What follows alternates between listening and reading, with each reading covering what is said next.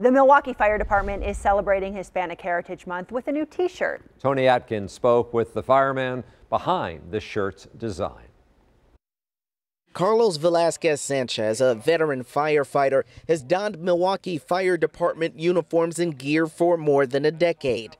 Today, he's wearing something new, a shirt he designed himself after seeing Chief Aaron Lipski's display of other cultural themed department tees. And I say, that's a really nice display. And his reply was like, would you like to make one for the Hispanic Heritage Month? And coming from Chief Lipski, uh, you don't say no. And I was very honored. Bomberos, or firefighters.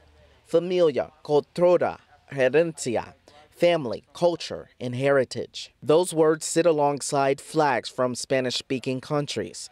It all circles the department's logo.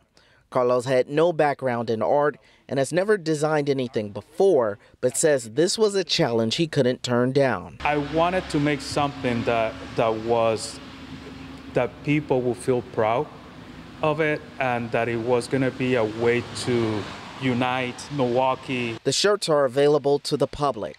All proceeds go toward two nonprofits, Hispanic Professionals of Greater Milwaukee and Ignite the Spirit, which helps first responders in need. The funds are going to two great organizations. I, can, I couldn't ask for anything more. City data shows Hispanics make up about 10% of the Milwaukee Fire Department. Meanwhile, census data shows Hispanics make up a greater number, about 19% of Milwaukee's population. Carlos hopes kids seeing firefighters wearing symbols of their heritage beside the department's logo could even plant a seed for a diverse next generation of Milwaukee's heroes. Education. If we want to increase it, uh, we just have to continue doing things like this. And for more information about where you can find one of these shirts celebrating the culture, visit our website, tmj4.com. For now, reporting in Milwaukee, Tony Atkins, TMJ4 News.